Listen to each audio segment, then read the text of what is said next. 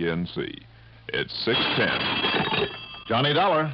Hi, Johnny. This is Earl Poorman. Earl, how are you? How are things in Los Angeles? Why, didn't you know we moved back here to Sarasota in Florida? no kidding. Yep, but uh, now we think we'll make another move. Where to this time? Oh, back to California. Why don't you make up your mind? it's more fun this way. Say, why don't you come down here and see us? At whose expense? Companies? Another investigation? Mm, yes. What this time, Earl? Of a murder, Johnny. A murder? That uh, hasn't happened yet. But believe me, if I'm reading the signs right, there's certainly one in the making. Okay, Earl. I'll grab the first plane I can get.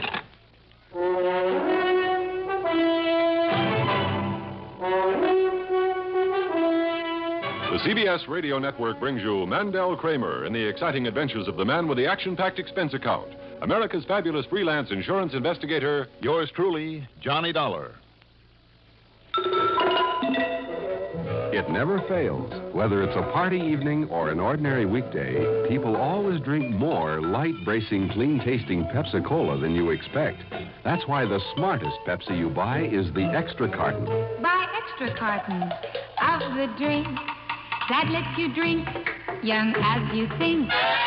Yes, get the right one, the modern light one. Now it's Pepsi for those who think young.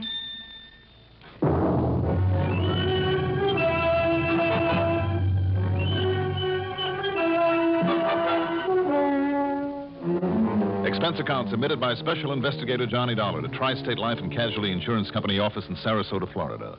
Following is an account of expenses incurred during my investigation of the whether or not matter.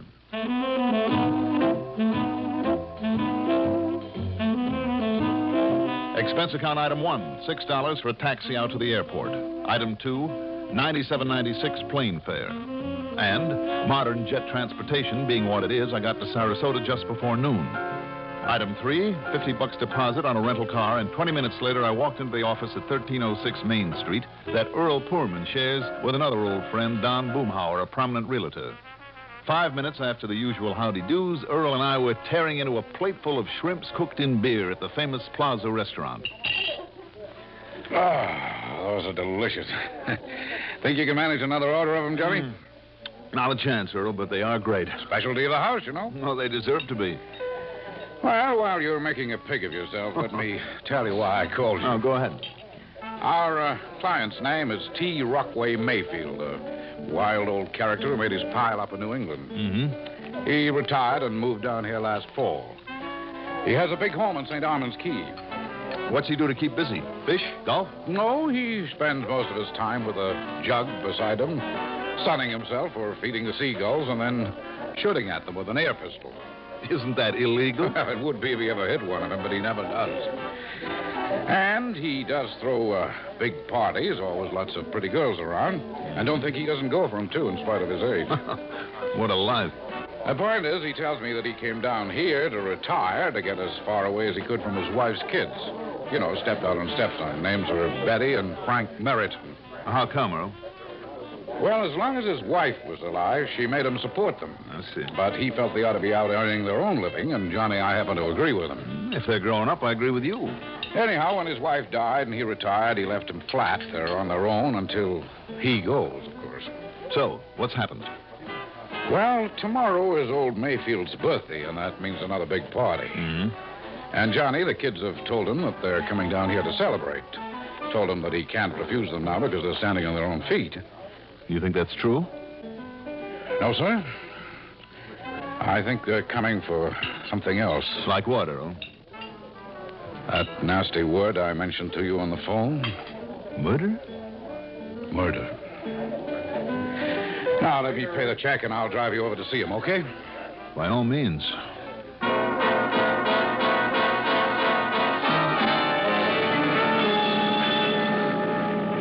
Tell me, Earl, have Betty and Frank arrived here in Sarasota yet? Mm, I don't think so. I hope not. But you can understand why I was so anxious for you to get on down here. Well, Earl, if something should happen to him while they're here, wouldn't it be just a little too obvious? Would it? Those kids are no fools, not by a long shot. Well, even so. And with the drunken mobs that he has at his parties, where somebody could be knocked on the head and tossed into the swimming pool and nobody'd pay any attention till it was too late, or, or you, no, okay, okay, I, I could be all wrong. I think you must be. But is there any reason why you shouldn't stick around long enough to keep an eye on them while the kids are here? Well- on expense account. I suppose not. Yeah. And then maybe after they've left, I'll uh, break down and take you out fishing. Now, there is a sensible inducement. oh, no, look. There, there's this place just ahead now. Hmm? That? Mm-hmm. The big one. Oh, oh, brother. And you don't think money that can afford a place like that would be worth killing for? Oh, Earl. hmm Maybe you have a point there.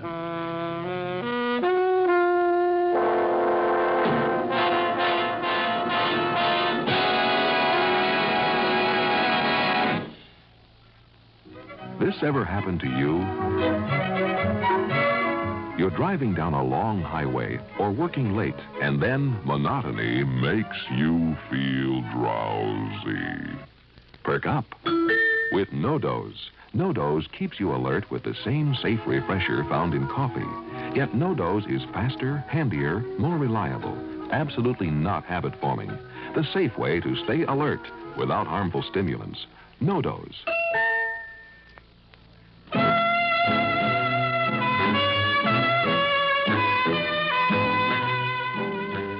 Mayfield's home there on the Gulf of Mexico side of fashionable St. Armand's Key was quite a place. To ensure privacy, all three of the landward sides were protected by a high wall.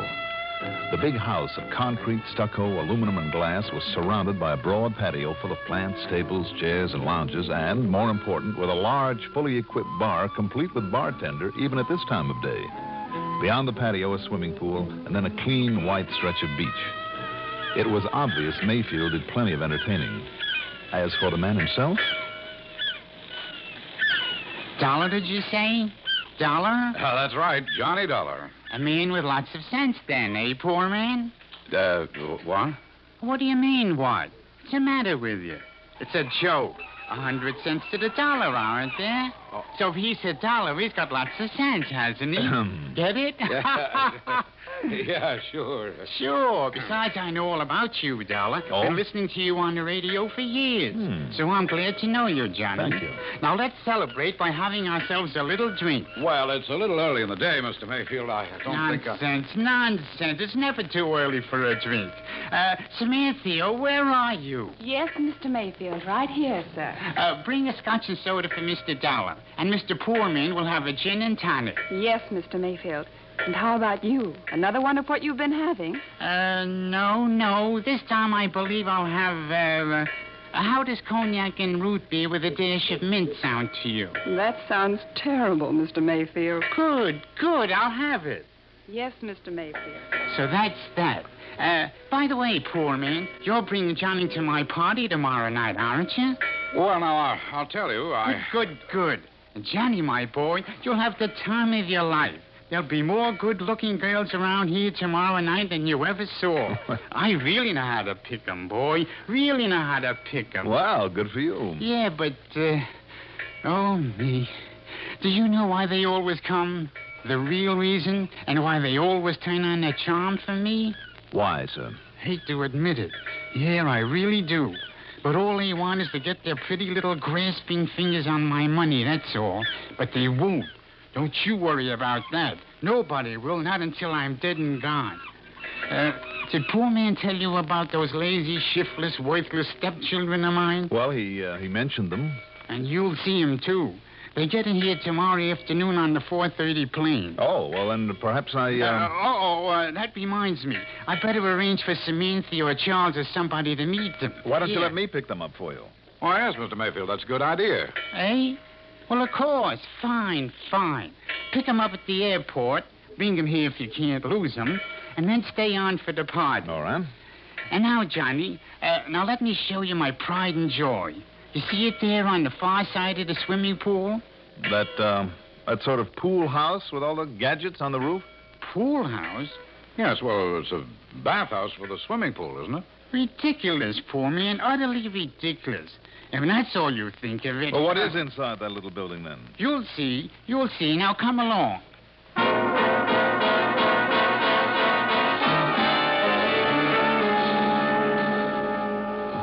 I'll be doggone. Yes, sir, a weather station. How oh, bother. Certainly fooled me. Complete one, too. You see, Johnny?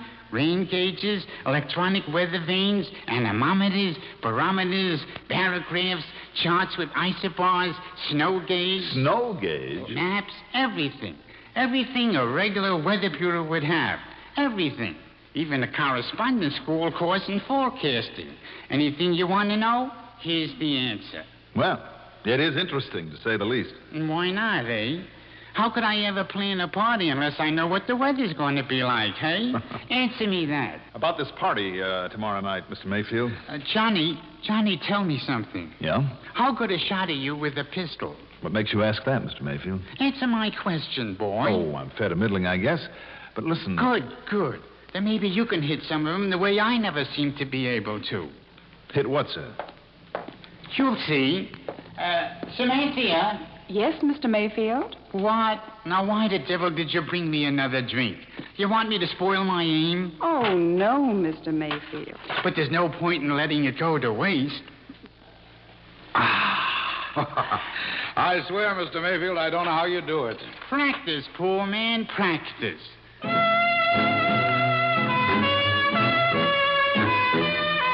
So, for the next hour, in spite of a very uneasy feeling I was beginning to have about this whole assignment, Mayfield and I tossed chunks of bread to the seagulls, then blasted away in a general direction with a couple of air pistols. Knowing the law about such things, I deliberately avoided making any hits. And old Mayfield, although he handled that little gun like a pro, didn't make any hits either. Then, just as abruptly as he dragged me into it, That's all, gentlemen. That is all. Oh. Have to get to work now in my weather lab and make out the latest report for myself. Can't be disturbed. So off you go. Off you go. Oh, yeah, sure. Uh, uh, anything you say. Come on, Johnny. right, Earl. I'll see you tomorrow night, Poorman. And Johnny, I'll see you when you bring my stepchildren, Betty and Frankie Meriton, here. And you ought to stay when they get here. I want you to get to know them. I want very much to. Now go on will you, go on. I got work to do.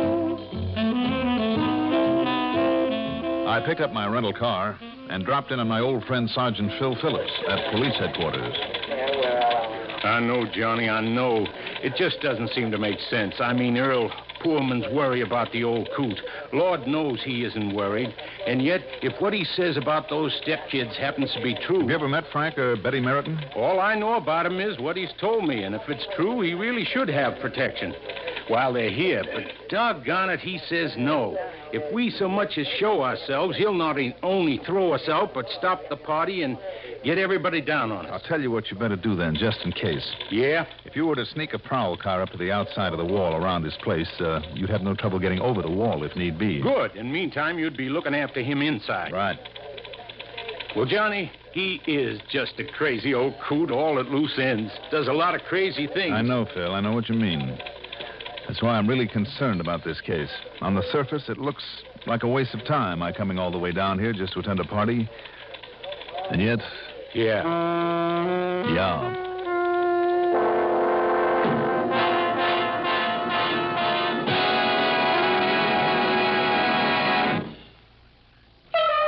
Treat your taste kindly with Kent. Treat your taste kindly with Kent. Treat your taste kindly with Kent. Smoke Kent, the micronite filter cigarette. Yes, people who want to get away from harsh, rough tasting cigarettes know that the one to switch to is Kent. And there's a very good reason why. Kent, with the micronite filter, refines away harsh flavor, refines away rough taste for the mildest taste of all. Yes, that's your reward for smoking Kent, the cigarette that made the filter famous. So when you want to get away from harsh, rough tasting cigarettes, remember, the finer the filter, the milder the taste. And you'll decide to treat your taste kindly with Kent. Treat your taste kindly with Kent. Smoke Kent, the micronite filter cigarette.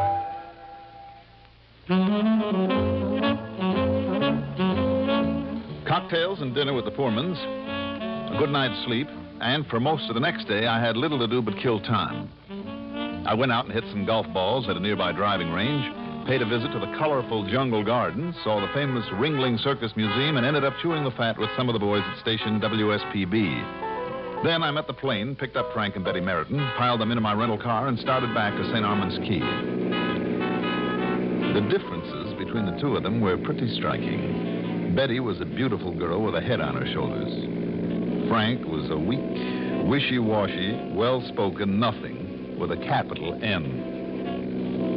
Don't tell me, dear girl. I think it's utterly ridiculous that he should expect me to sweat and slave and work my fingers to the bone when he has all that money that he doesn't know what to do with. I mean that.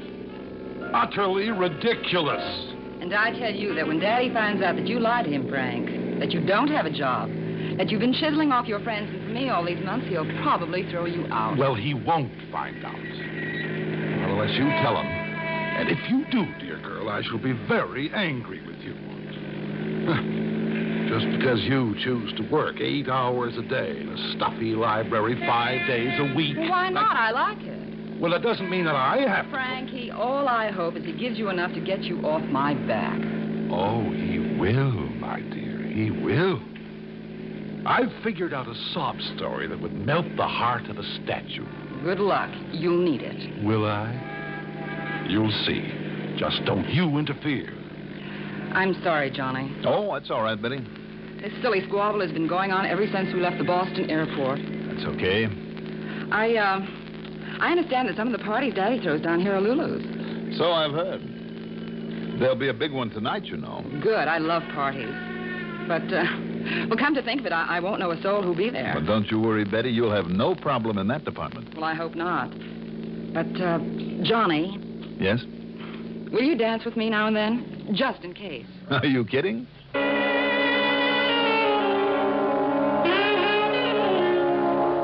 Without giving them a chance to unpack their bags, Mayfield dragged them into a study and shut the door. So I took a swim and dressed for dinner and the party. At dinner, incidentally, Mayfield and Betty yacked away at each other like a couple of happy kids. But not a solitary word passed between Mayfield and Frankie. Frankie sat there and pouted, hardly touching his food. Then, the party. So help me, I never saw so many good looking girls gathered together in one spot in my life. And what if a lot of them were only looking for a shot at Mayfield's money? The point is, they were there. As for Betty, we not only danced like fools, but made plans for getting to know each other much better up north after this whole thing was over. Meantime, needless to say, I kept a weather eye on Frankie, who spent most of his time at the bar looking very unhappy. Then, about 11 p.m., between dances, Mayfield came over my way. Not drinking, Johnny? You're missing half the fun. Oh, don't you worry a bit, Mr. Mayfield. I'm having a fine. Hey, wait a minute. The lights. What happened to the lights? Just a gag, Johnny. Just a gag. A gag? They'll be back on in a minute. I have a timer on the main switch that does it. Well, why? Why the blackout? What's the matter with you, boy? Now, the next time they go out, and they will, they will. Not if I can find that switch box. Now, when they do, you just grab the nearest, the prettiest girl you can find. Oh, come on. And if you don't know what to do then, well, you're not half the... Oh, not came on again too soon. Now, listen, Mr. Mayfield. But have fun, Johnny. Have fun. Mr. Mayfield, wait a minute. Johnny? Betty, what happened to you? Well, don't you worry. I slapped his face and hard. Only I still don't know who was there in the darkness. Look, that lights out gag has got to go. Come on, let's find the main switch box so it won't happen again. You mean the lights were supposed to? Oh, no. Oh, not again. Doggone it. Where did Mr. Mayfield go? Well, I thought he was going over toward... Johnny! Come on, Betty. That was over near his weather station. By the time we fought our way over there through the crowd, the lights came on again. And there, just in front of the door of the little weather station, lay a body. Johnny? Is he...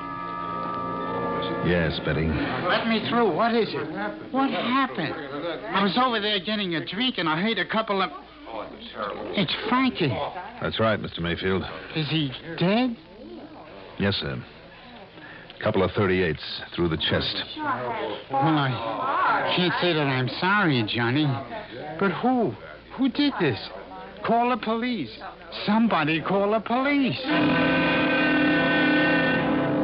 Sergeant Phillips and his men were already over the wall, and they really did a job. In the next two hours, they, plus a dozen more he called in, made as thorough a search of that place as I've seen. But the result?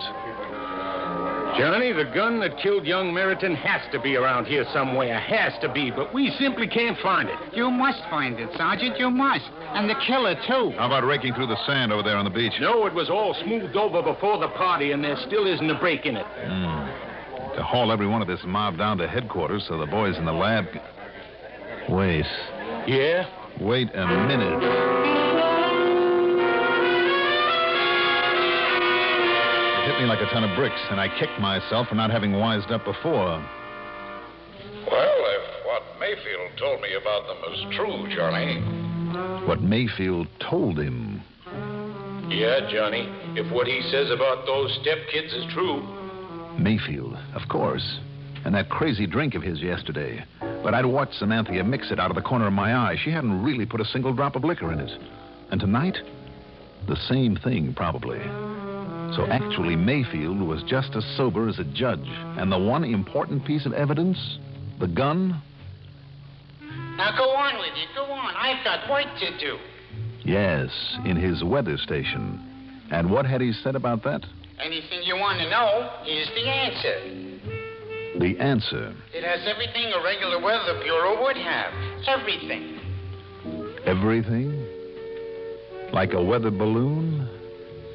A balloon big enough to carry a pistol far out over the Gulf, never to be seen again?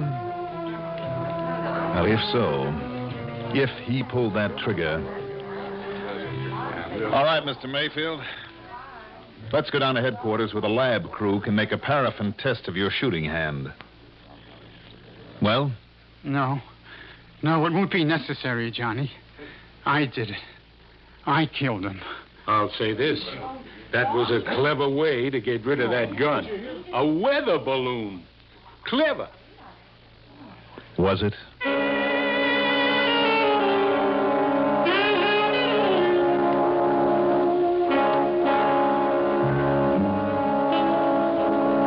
So, the Mayfield fortune will go to Betty. And I can't think of a more deserving girl. Or, come to think of it, a prettier one. Expense account total, including the trip back to Hartford, two forty-seven ninety-two. Yours truly, Johnny Dollar.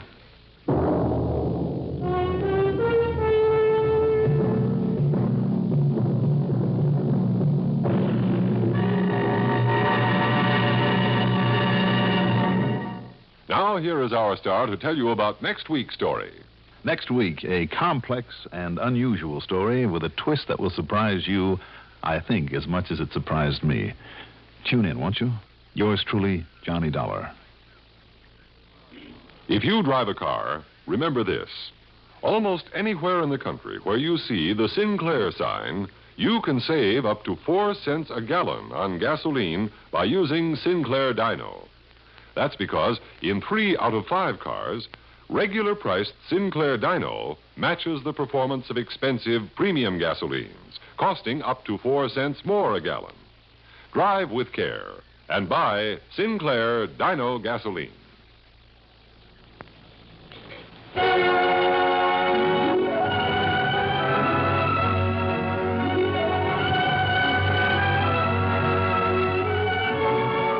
Yours truly, Johnny Dollar, is written by Jack Johnstone. Produced and directed by Fred Hendrickson. Music supervision by Ethel Huber. Johnny Dollar is played by Mandel Kramer. Also featured in our cast were Ian Martin, Bill Kramer, Joe Hardy, Ivor Francis, Constance Simons, and Karen McCrary. Be sure to join us next week, same time, same station, for another exciting story of yours truly, Johnny Dollar.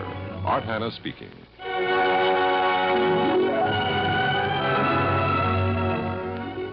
Worldwide Sports with Chris Schenkel is heard weeknights on the CBS Radio Network.